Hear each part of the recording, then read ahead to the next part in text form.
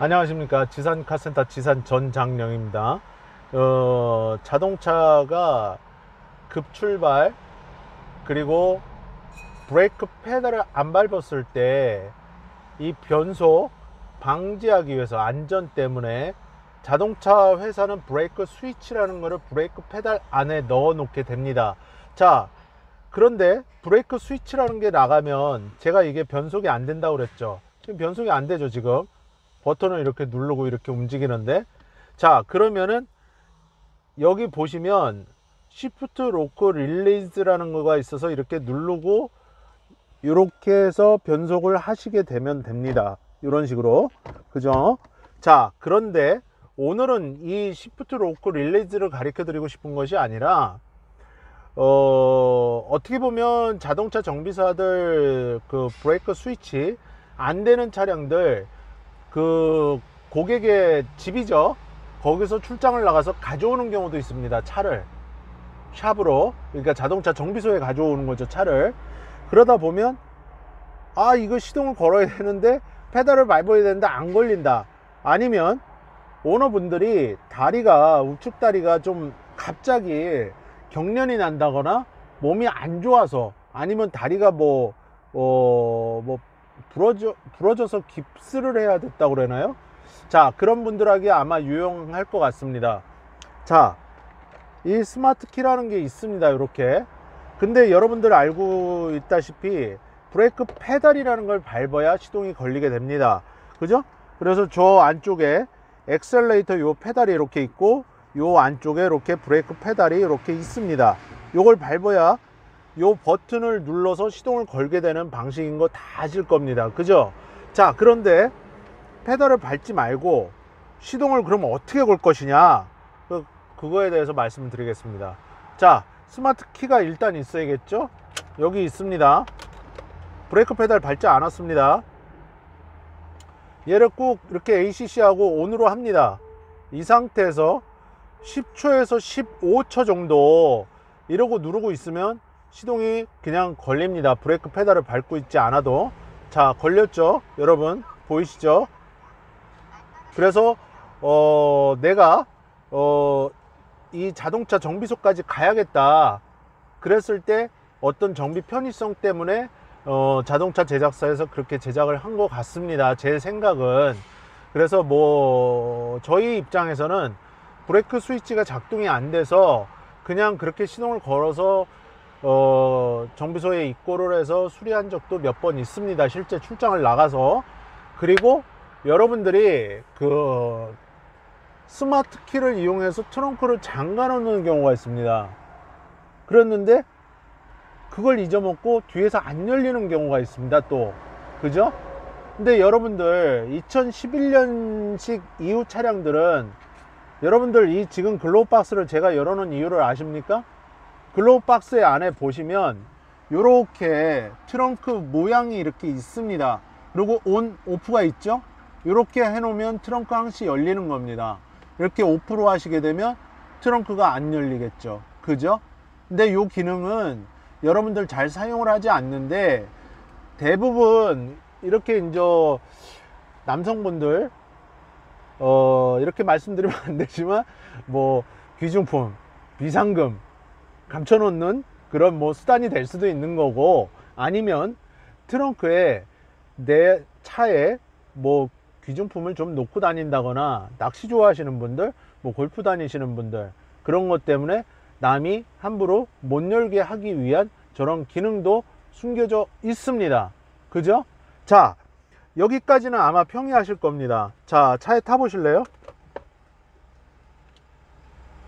천천히 타세요. 머리 조심하시고.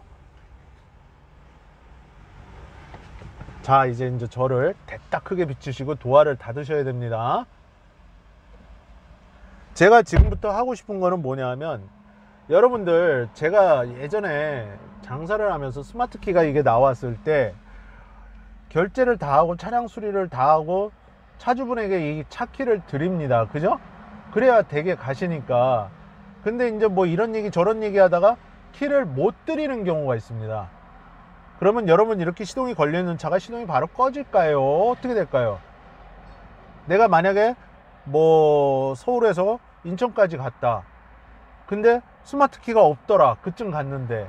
근데 이 스마트 버튼을 눌러서 시동을 끄지는 않은 상태입니다. 그럴 때는 어떻게 해야 될까요? 여러분들 당황하지 마시고 자 일단 시연을 해 드리겠습니다. 제 단골 고객분입니다. 여기 있습니다. 자 키를 드렸습니다. 분명히 차에는 키가 없습니다. 여러분. 자 잠깐 여기서 시연만 해드리겠습니다. 왔다 갔다 비상 스위치를 켜고 자 왔다가 갔다가 이렇게 왔다 갔다 합니다 자 왜 큰 도로로 안 나가냐면 지금 촬영 중이기 때문에 안전상 좋지가 않아서 제가 어 그냥 이 샵 마당에서 지금 촬영을 하고 있는데 이렇게 시동이 꺼지지 않습니다 여러분. 그러면 오디오는 작동이 되냐? 오디오 작동 다 됩니다 여러분. 오디오도 작동되고 노래 듣고 싶으면 노래 들으셔도 됩니다. 자 다 되죠? 비상 스위치 끄고. 자 너무 밝으니까 제가 다시 창문을 닫고 자 라이트를 한번 켜보겠습니다. 라이트 켰습니다. 다 작동됩니다. 에어컨 되냐고요? 에어컨 작동됩니다 여러분. 여러분들이 원하고 바라는 거는 다 됩니다. 전기는 에어컨도 작동됩니다 이렇게. 그래서 지금 금방 말씀드리고 싶은 거는 스마트 키가 없어도 주행은 가능하다. 주행하면서 시동 안 꺼진다.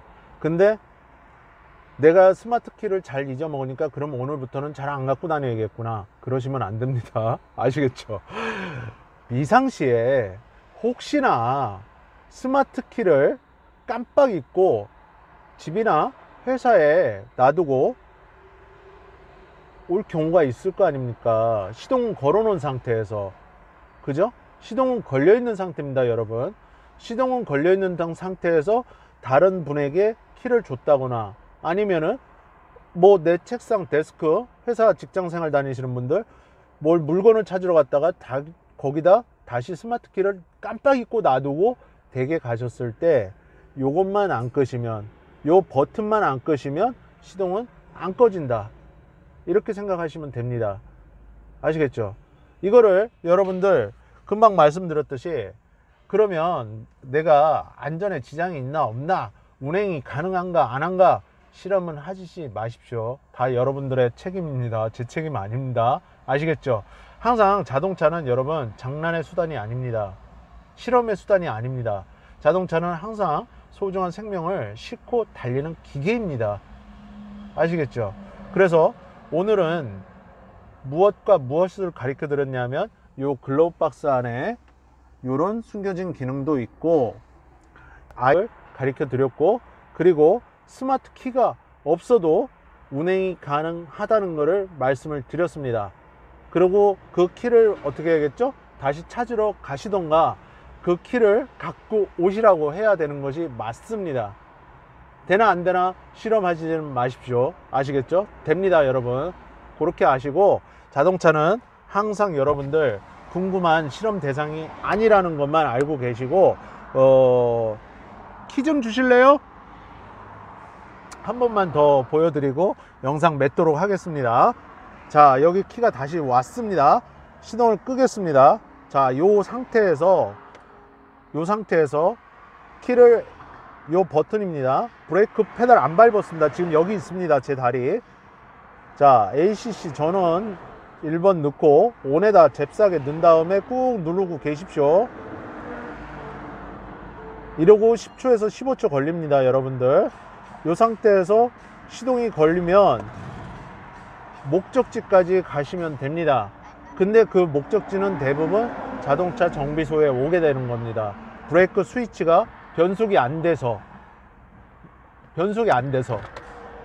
왜? 브레이크 페달에 제가 브레이크 스위치라는 거 있다고 그랬죠? 안쪽에.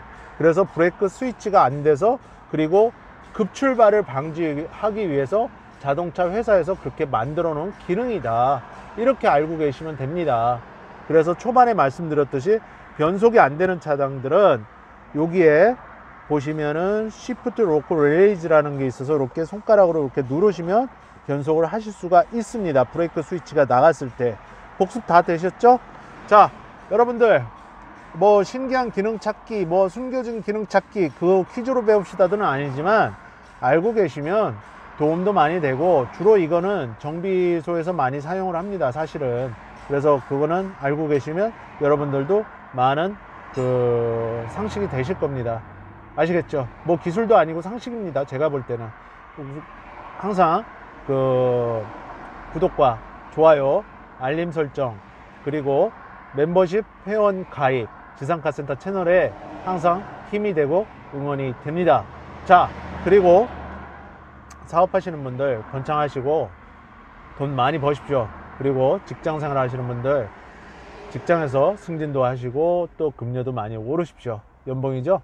자, 젊은 분들 원하고 바라는 곳에 반드시 취업하실 수 있게 제가 항상 응원하고 기도하겠습니다. 자, 오늘 재밌는 영상 그 몇 가지 가르쳐 드렸는데 어, 재미있으시면 구독, 좋아요, 알림 설정, 멤버십 회원 가입 반드시 해 주십시오. 아시겠죠?